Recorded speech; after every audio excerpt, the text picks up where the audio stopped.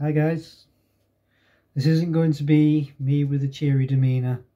This is me feeling the pain of knowing that we have two and a half, three weeks so far of Super League and all Rugby League being suspended.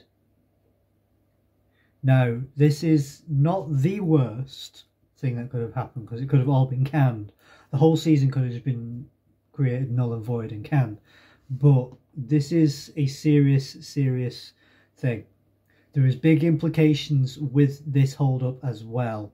Not just immediate, but further down the line of what could happen further down the leagues, further down at non-professional level, at some of the lower end. Now already we already know that there are already some clubs that are going to be struggling as is. There's clubs that were already in financial difficulties at the start of this season, have been for the past few seasons.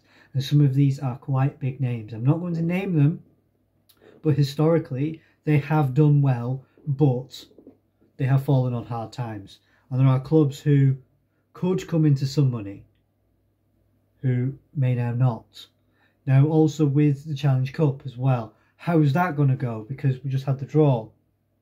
Now, I'm not going to utter much about the conspiracies that people are saying, the fact that this is a, just off of memory, I think the fourth or fifth year in a row that it will be Wigan, Warrington with each other again in the Cup. All right, yeah, we are big names, we are big clubs, but it's something to some people doesn't feel quite right, even though, to be honest, I know they want to try to make it a spectacle they want to do it. Now, this was moved from New York to Salford because of all this coronavirus stuff that's going on. Now, again, I do understand why they have can not cancelled but suspended the league, but it stinks that we as a country have virtually no sports apart from very, very few little places. Darts venues are going to be quite quiet as well. That's going to be quite subdued. Pool halls, snooker, this is all going to become very low key. It might end up being that we might end up finding a tiny little, a, a little sport somewhere or a little area where we just hide out in and watch some obscure sport. Heck, it might even be that we might end up just finding a hill and jumping in a giant tractor tire and rolling down that. Having some old fashioned fun, as some people would say, but no. I totally understand, but I feel pained. I feel the pain for those other clubs as well out there as well, because this is not not ideal because we're still pretty much at the start of this season. There's only been seven games played. Well, seven rounds of all of this gone along with the Challenge Cup and everything that goes with it. Now, I totally do agree. We do need to implement things to slow the rate of infection with this virus, but there isn't much we can do. The eggheads are working on getting this bug worked out to break it down to its parts and work out how we can create a vaccine for this. Even if it means having to take a standard cold and flu vaccine and modify that. If we could do that. I have a habit of eating soothers and drinking tea. I've got herbal teas downstairs that I'll sometimes drink. All because, one, the job I do, I'm on a phone all day. So I'm talking to people constantly. So that is my problem. If I rip my throat out watching a game, my work suffers. But I don't care about that because I'm having fun watching a game. Well, that is now at the at the earliest, the third of April, that this will be at least worked. Now there is bits going along with the football as well. Now is that going to work out as well? Because for a while the non-league system was helping us out sports wise but now they're having to shutter their games as well. Because there are some clubs that can have four, five, six thousand people at the attendance rather than in the lowest version or the lowest league for non-league or for league, professional league in football, they can have crowds which might only be one and a half, two thousand. So there is a crossover point there.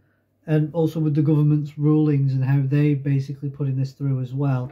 This is something we're all now looking at because there's rules now where we we can't have big gatherings in pubs and clubs. So there's going to be some of the big venues that are going to be closed, and there's going to be festivals which are coming up. For flip's sake, we're getting ready to to have St. Pad's Day. We can't do that. We can't have any massive things with that. Easter's coming up as well. That's going to be a mess because there's going to be people going all over the place. That's starting to slow down as well.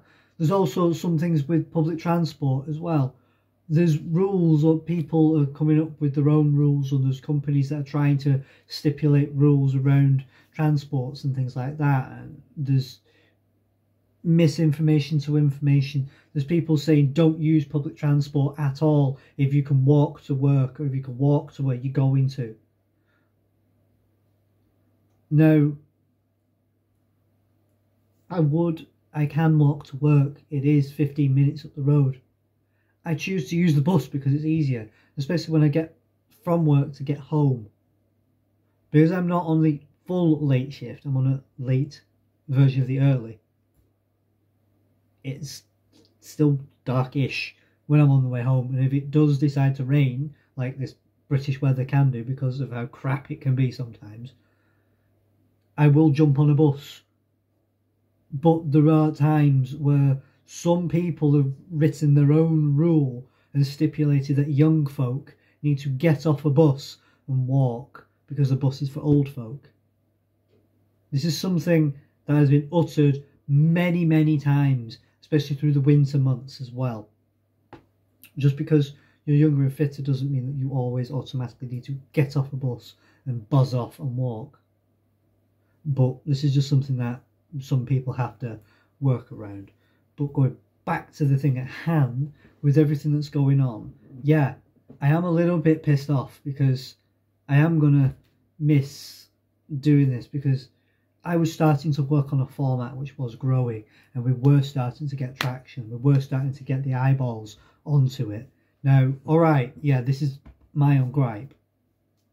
But this is something I can work around and I can do this. I can easily put a halt on all the following subsequent videos and get it working at a later date. But I'm also a bit shit scared that my Alton Towers trip is also now going to be canned and that I've lost £200 because I'm not going to get it back because they won't reimburse me it. It's Merlin Entertainment. They reimburse nobody. this this virus is a serious problem for some people, but for people who are fit enough and healthy enough, like myself, it's just going to be an aggravating cold. It's just going to be a dry cough. It's just going to annoy my chest. Yeah, I'm probably going to cough up some more shit because it doesn't when you used to smoke for a while and you used to vape.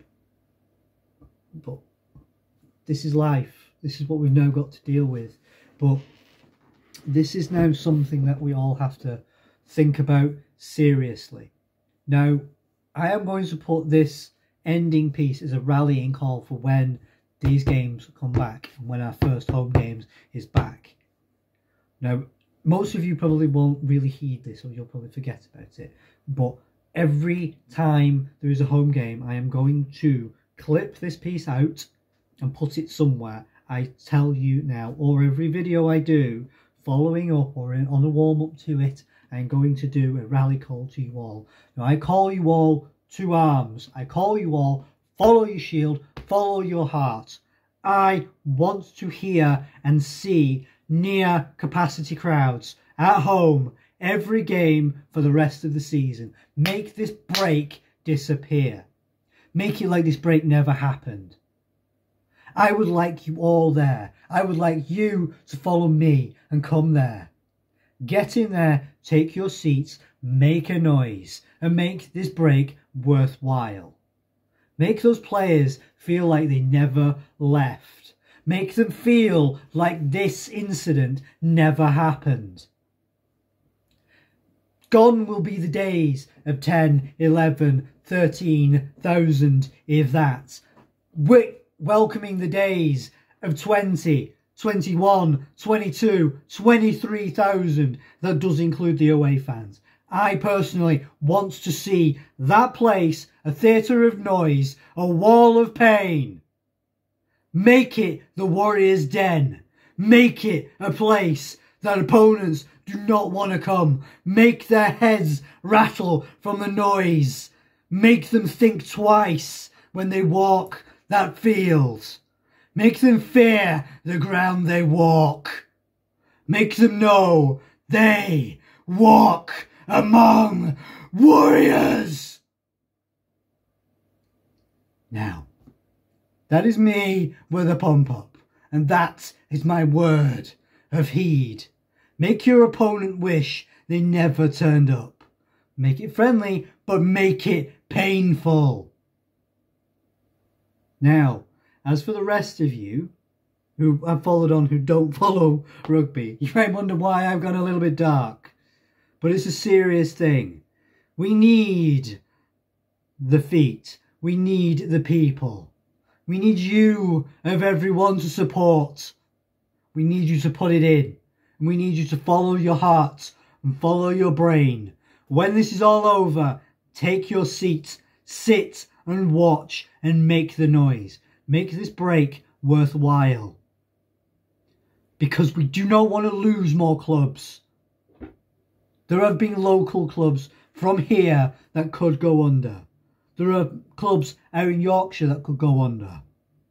We have international expansion on the horizon. We don't want this to fail. And also, to the people of the government, if we fall, you will come with us.